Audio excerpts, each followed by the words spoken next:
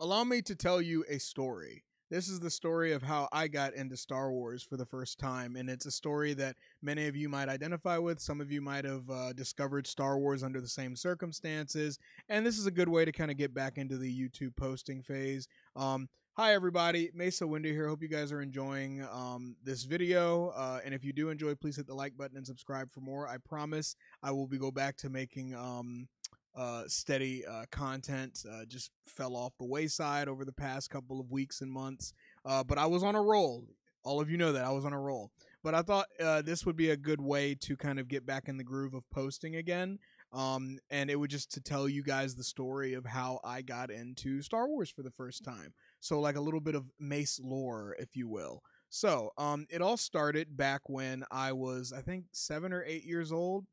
Um, hometown uh, wasn't a big fan of books, even though like I did like the concept of books, but like I, I wasn't a fan of reading them. I always wanted to like skip to the interesting parts to see if something crazy happened or something like that. I kind I'm kind of like that when I watch TV now. I'm like, oh, this is kind of not piquing my interest. So is anything happen midway through, like whatever? Uh, so my mom, who uh, is uh, the like like the most important woman currently in my in my life right now, um, she wanted what was best for me, and I will always appreciate it. Um, but uh, she wanted me to be smart, so she was like, "You need to go to the library more often." And I was like, "Naturally, library is associated with books." And I'm like, "I don't want to go to the library. it's boring." And she was like, "Did you know they have movies?" And I was like, "Really? Interesting. This changes things." You know, eight year old Josh. So she took me to the local library, and by the way, uh, check out books from your local library. Libraries are the most eh, one of the most important building blocks to raising a child and making them smart one day. So obviously, advocate for them as often as you can. It's very important. This is a this is a product placement for public libraries as well. So continuing, um, so she took me to the uh, um, the local library, and you know, I actually, to my credit, I actually started looking around for books. I actually started looking around for books a little bit.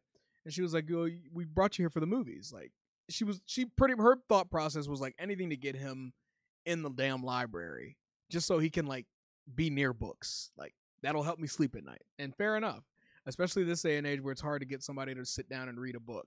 Um, books can help you grow exponentially. This is a product placement for public libraries. Anyway, uh, I went to the movie section, and none of the movies were current. This was like what 2005. None of the movies were current. Um, and I looked around, looked around, looked around, and I I saw a lot of 1970s movies. I saw The Godfather there. I think I did. Uh, I remember seeing Star Trek, which never really interested me as a kid. Um, even though I enjoy it now, like not as a mega fan, but as like a, an enjoyer of it. Um, and something caught my eye because I had seen, I had played a little bit of Lego Star Wars and I knew of it, but I never really watched it. I didn't know. I know Darth Vader. I knew like Luke Skywalker, Princess Leia, Han Solo. I knew the concept of these characters, but I was never into the whole like Star Wars thing. So I was like, oh, Star Wars. And by that point, I realized my mother had tricked me, and I was like, "Oh, you said there was to be like cool stuff here, and I don't see anything cool here." And so she was like, "Check out the damn book, and so we can go." And I was like, "All right, fine." So I picked Star Wars. We went back to our little apartment at the time. I watched that movie, A New Hope. By the way, this was A New Hope in a VHS, and I wish I I plan on going back to that library one day just to see if they still have it. And if they still have it, I would be perfectly willing to buy it from them. But anyway, um, even if it's like up jumping in cost, like if it's like three hundred dollars, I'd be like, okay, you wait here. I'd be willing to just just from the sheer significance of that being the item that got me into the franchise. But anyway, I watched A New Hope, and the rest is history. No, yeah, like seriously, I watched that movie I wore out that VHS. I, I, I rented it out the full duration. I forgot how long they let me keep it. Um, but I always rechecked it out essentially. Um, I renewed library cards just to get that movie again because you know we didn't have a lot of cash back then, and so like you kind of took what you can get, and like it was hard to kind of just ask your parents for this movie, and and eventually when I got the movie myself, like my mom got it for me for Christmas. She, she got me the whole trilogy, and then she got me the whole saga. Um, uh, one through six, so to speak.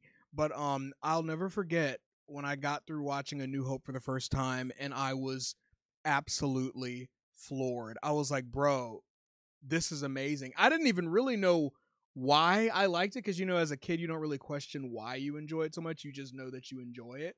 Um, it went from that to picking up sticks that you see in the backyard and doing like the and like you know when you're a kid your imagination goes wild so you really truly believe that you are there when you're imagining what's going on and then it became legos then at lego star wars i went back and played lego star wars again just so i could like you know uh, play the game and like every time since i had watched all of the movies by the time i got lego star wars again but uh, since i had watched all the movies every single moment in the lego star wars game i was like ooh ooh ooh ooh ooh like that happened in the movie and I fell in love with the franchise, uh, and that was like truly one of the most special periods of time because I finally had something that I was super super into.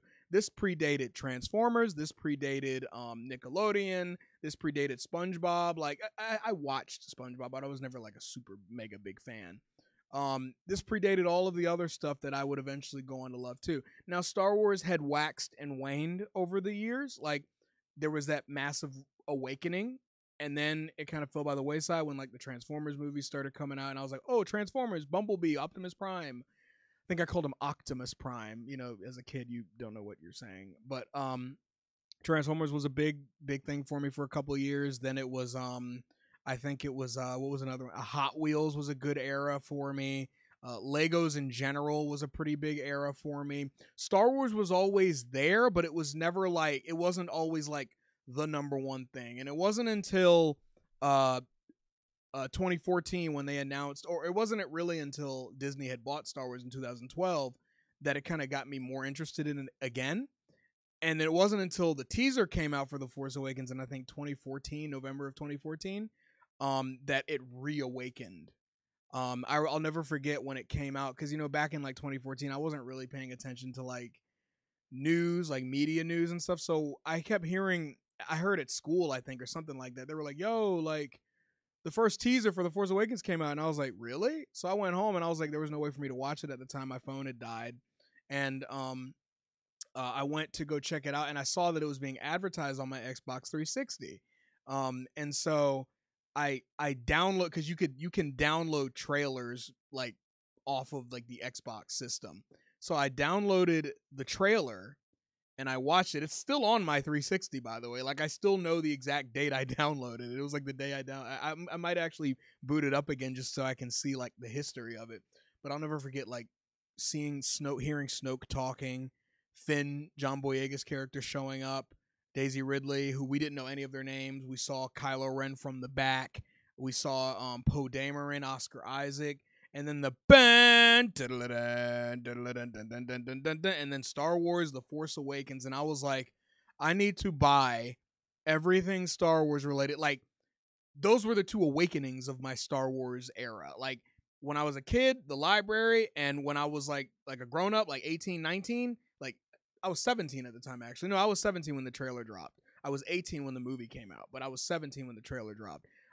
I will never forget those big coming of age moments for me because that's that's special. Like I will never forget. Like that's how I knew that Star Wars was always going to be with me as long as I was alive because I'll never forget. I, I can't forget those experiences if I tried. They were such a massive part of my life. Like I go back and think about those days, and not only were things more simple back then, it wasn't as stressful back then because you were a kid or you were a young teenager. But like now, I look back on them and I'm like, damn, that's where it all started, huh? There was the wake, the awakening, and then the reawakening. And it's truly one of the most nexus memories of my life that I will always remember. Even if I'm 50, 60 years old, I'm like, oh yeah, I remember when I they first came out with the Star Wars Lego Star Wars. It was one of the only games I ever 100% completed. I have so many hours in that game. I wish they had counted the hours on like PlayStation 2. Um, and ever since then, the rest is history, man. And that's the origin story of uh, Mesa Windu's uh, Star Wars life that's kind of the short and sweet of it. I could probably go into it for like 45 minutes to an hour, and maybe I will go into more detail as the uh, as my uh, time as a content creator goes out. But I hope you guys enjoyed this little video. I hope this was something to help you unwind as you get ready for the week. I hope you guys continue to stay safe and love each other. This is Mesa Windu out, and remember, the Force will be with you always. And don't forget to subscribe.